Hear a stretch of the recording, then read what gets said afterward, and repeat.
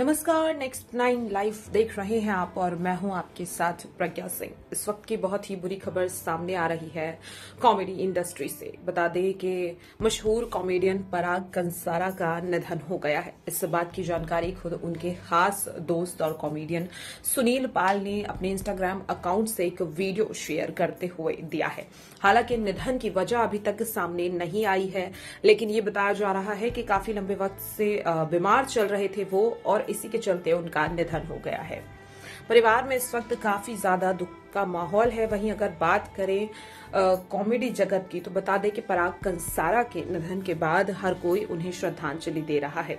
इस बीच, जिस तरह से ये खबर सामने आई है, फैंस को एक बहुत बड़ा झटका लगा है। हम सभी को याद है कि किस तरह से बीते 21 सितंबर को राजू श्रीवास्तव का निधन हुआ और इसके बाद एक और बड़ी क्षति कॉमेडी इंडस्ट्री को जिस तरह से मिली है, इसके बाद जहाँ एक ओर दुख का माहौल है तो वहीं दूसरी ओर फैंस के लिए इस बात पर भरोसा करना बिल्कुल भी आसान नहीं है कि सबको हंसाने वाले पराग कंसारा आज इस तरह से यू सबको रुलाकर चले गए हैं।